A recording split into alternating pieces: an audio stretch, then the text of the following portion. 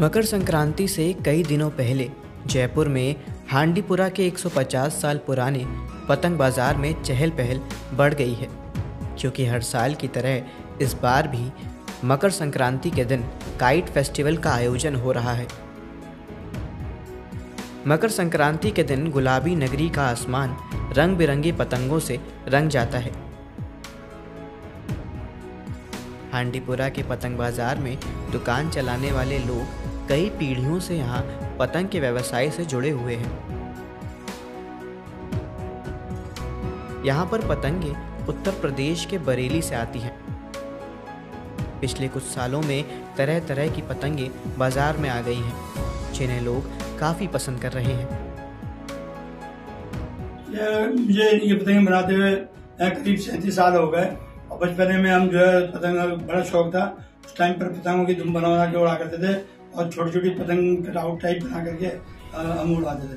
जब बनाते बनाते मैंने देखा इससे तो अपन कुछ ओरिजिनलिटी गई इसके अंदर तो फ़ोटो वाली जो है फ़ोटो लगा करके और कटआउट के ऊपर जो है दिखा।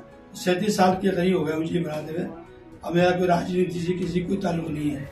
जो नेतागण जीत करके आते हैं या खिलाड़ी जीत करके आते हैं और अपने फिल्मी कलाकार जो है जो पॉपुलर होते हैं उनके जो है आचार मनाता हूँ।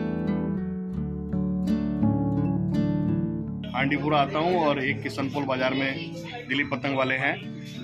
उनके पास आता हूँ। तो यहाँ के पतंगों में क्या क्वालिटी है जो औरों में नहीं यहाँ पर मन चाहिए चीज़ मिल जाती है हर तरह की चीज़ मिल जाती है। अच्छा। और विश्वसनीय चीज़ मिलती है। रेट भी सही होती है। अच्छा। इसीलिए इतनी दूरी पे आके लेते हैं। अलग अलग तरीके की पतंगे रखता हूँ मैं। क्या कपड़े की और जयपुर की सारे कारीगरों की पतंगे रखता हूँ। और कितने साइज़ की फुट के? कम से कम सात आठ फुट की तो पतंग होती है मेरे पास। अच्छा। और ऑर्डर देने पर बीस फुट की भी बना लेता हूँ। अच्छा। और आप लोग थोक में कितने की बेचते हैं पतंगे? ये सत्रह रुपए से स्टार्ट होती है कपड़े की पतंग। अच्छा। क्या? कपड़े साढ़े चार सौ पाँच सौ रुपए की पतंग होती है।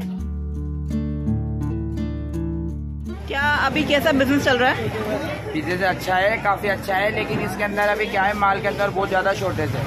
एक तो रेट बहुत ज़्यादा तेज है पिछले साल से पतंग के ऊपर दो रुपए की तेज़ी है एक पतंग के ऊपर। जो पिछले साल अपन के पास चार सौ रुपये की सौ पतंग आती थी, वो इस बार साढ़े पाँच सौ या छः सौ रुपये की सौ आती है। इतनी ज़्यादा तेज़ी।